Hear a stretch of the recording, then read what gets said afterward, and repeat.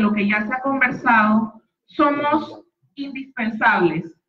No somos, somos importantes, pero más que eso, las mujeres somos indispensables en el desarrollo de nuestras comunidades, de nuestra sociedad y de nuestras familias.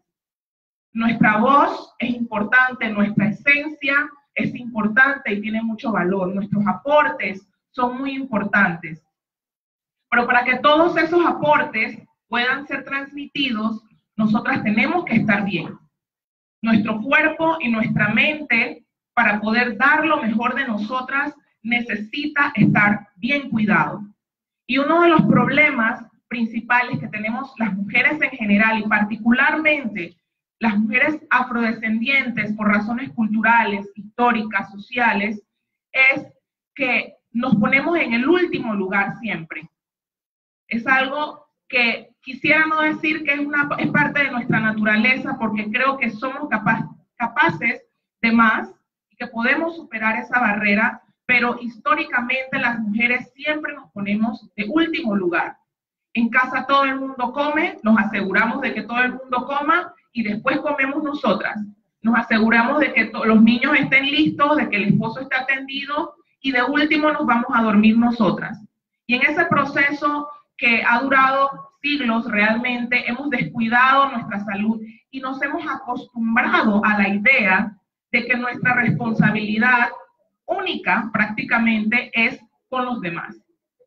Entonces, cuando hablamos de empoderamiento en salud, hablamos de reconocer, primero, como ya dijeron, que somos importantes, que somos valiosas y que por ende, para poder eh, materializar ese valor, tenemos que cuidar de nuestra salud tenemos que cuidar de nuestro cuerpo y de nuestra mente. Tenemos que eh, establecer eh, límites a lo que estamos dispuestas a tolerar y a los sacrificios que estamos dispuestas a hacer de nuestra salud física y mental y tomar decisiones acorde. En este proceso de empoderarnos para tomar las riendas de nuestra salud, el primer paso es tomar la decisión. Suena como algo obvio, pero realmente en la cabeza, como mencionaron, el chip que tenemos es de atiendo a todo el mundo y después vengo yo. Entonces tenemos que hacer un alto y tomar la decisión de empezar a atendernos a nosotras primero. Porque cuando nosotras estamos bien alimentadas, ejercitadas, manejamos el estrés, nos recreamos y nos atendemos, estamos en mejor capacidad de de desarrollar nuestro potencial, de alcanzar nuestros sueños. Y cuando nosotras alcanzamos nuestros sueños, nuestros hijos, nuestras familias y nuestra sociedad está mejor. La sociedad necesita que nosotras estemos más saludables. Una mujer saludable, y esto se ha estudiado estadísticamente en el núcleo familiar y en las sociedades, mujeres saludables es sinónimo de sociedades saludables. Mujeres enfermas es sinónimo de, de sociedades enfermas. Entonces, el primer paso es que tomemos la decisión. El segundo paso es que eh, establezcamos nuestro cuidado personal como una prioridad dentro de nuestras actividades. No solamente no ser la última en la lista de, de atenciones para todos, sino que dentro de nuestras propias actividades de trabajo, de estudios, de las organizaciones a las que pertenecemos, que el cuidado de nuestra salud sea una prioridad en nuestro quehacer diario. Que no sea algo de que el fin de semana voy y corro un poquito porque durante la semana siento que comí mucho, entonces voy a ver qué hago el fin de semana para reparar el daño. No, todos los días tiene que haber un espacio y una oportunidad para cuidar cada una de nuestra salud. Y el tercer punto es actuar acorde y consistentemente. Una vez que hayamos tomado la decisión de que somos importantes, lo suficientemente importantes para cuidarnos y hemos hecho de eso una prioridad, tenemos que hacer un plan y actuar consecuentemente con esa decisión y con esa prioridad. Eso significa, y, eso se debe a que el, estado, el estilo de vida que nosotros llevemos va a depender de las decisiones que tomemos todos los días. Desde que nos levantamos y decidimos si corremos a atender el celular y a ver qué correos entraron y a responderle al que se quedó pendiente del día anterior, versus hacer un ejercicio de gratitud, hacer una meditación, una oración, atendernos. Esa pequeña decisión que hacemos al principio del día o a la mitad del día, cuando decidimos, me salto el almuerzo porque tengo que correr a, a recoger al niño a la escuela, en lugar de pedir apoyo para que otra persona que quizás le resulta mejor hacerlo, pueda hacerlo y podamos almorzar, por ejemplo. Son cosas comunes que yo he escuchado en la consulta, eh, trabajando con mujeres. Esos pequeños sacrificios que hacemos con alegría, porque amamos a nuestras familias, pero que a veces los hacemos en automático sin pedir ayuda y sin considerar que podemos estar afectando nuestra salud a largo plazo.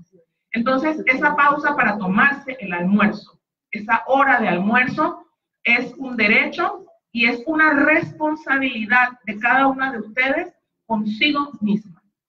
Es una responsabilidad, tanto como esa reunión que hay que atender, tanto como recoger a los niños a la escuela, es mi responsabilidad almorzar a tiempo. Cuidarme yo, porque si yo estoy bien, todos a mi alrededor van a estar bien. Entonces, eso es muy importante. Eh, el estilo de vida se construye con las decisiones que tomamos eh, eh, en cada momento de nuestros días y para ello hay que crear hábitos. Hábitos eh, para que estas, estas decisiones y estas acciones en positivo con respecto a nuestra salud se hagan algo automático, para que podamos hacer ese cambio de chip. Tenemos que ser consistentes y eso requiere en principio una motivación lo suficientemente alta. La motivación para actuar todos los días en el cuidado propio hay que encontrarla. Para cada una puede ser un poquito diferente. Para mí la motivación puede ser, eh, si yo no me atiendo, si yo no hago ejercicio, mi mente no está clara y yo no puedo rendir en el trabajo lo suficiente. O esa motivación que me impulsa a sacar tiempo para hacer el ejercicio, para preparar comida saludable, para ir al mercado o, o para ir a hacer mi clasecita de zumba. Esa motivación puede ser que yo tengo una predisposición a una enfermedad y yo quiero prevenir desarrollar una enfermedad. Eso, todas estas cosas son importantes. Para cada una va a ser diferente, pero tienen que encontrar dentro de cada una cuál es la motivación. O la motivación puede ser tan sencilla como yo quiero estar sana porque quiero ver a mis hijos grandes casarse. También puede estar dentro de la familia la motivación. Además de la motivación, eh, es importante impulsarnos con eh, estrategias y prácticas diarias que nos ayuden a ser consistentes y ahí es donde voy al tema de cómo se crea ese hábito, ese hábito de cuidarnos todos los días. El hábito de cuidarnos diariamente empieza con tomar un paso pequeño a la vez, pequeño y manejable. Siglos de costumbre de no atendernos, de dejarnos de último en la lista, no se rompen de la noche a la mañana tenemos que empezar con una decisión, un cambio pequeño, manejable, que vamos a comprometernos a hacer a partir de hoy. Así que las invito a todas a que en este momento piensen en un cambio pequeño que ustedes saben, porque generalmente sabemos por dónde estamos flaqueando con el cuidado de nuestra salud. O no nos estamos ejercitando, o no estamos comiendo muchos vegetales, o no estamos bebiendo suficiente agua. Siempre hay algo que sabemos que estamos ahí medio flaqueando. Tomar esa decisión ahorita y decidir a partir de hoy, una, un hábito para mí va a ser tomarme un vaso de agua apenas me levanto. Tomarme un vaso de agua antes de cada almuerzo. Tomo la decisión y empiezo a actuar. Un pasito pequeño a la vez. Importante también celebrar las victorias, los logros. Cada vez que yo cumplo un mes, de que, de que logré hacer mis clases de, de ejercicio, hacer mi entrenamiento en la casa consistentemente, yo lo celebro, lo disfruto y me felicito a mí misma. En lugar de sentirme culpable y juzgarme porque descuidé a la familia, sentirme orgullosa, feliz y alegre de que me atendí. Y ese, ese celebrar esa victoria y regalarme algo por eso va a reforzar esa conducta positiva con respecto a mi salud. Buscar apoyo también es importante cuando nos rodeamos de otras mujeres que también tienen la meta de hacer cambios positivos con respecto a su salud. Eso nos impulsa, nos fortalece, nos empodera también. Si nos rodeamos de personas que no tienen buenos hábitos, la probabilidad es que no vamos a tener buenos hábitos. Si por el contrario nos rodeamos con personas, mujeres y hombres también, que están buscando hacer cambios positivos, lo vamos a lograr. Otro punto importante para crear hábitos positivos con respecto a su salud es eh, buscar a una persona que nos dé accountability, que nos dé rendición de cuentas.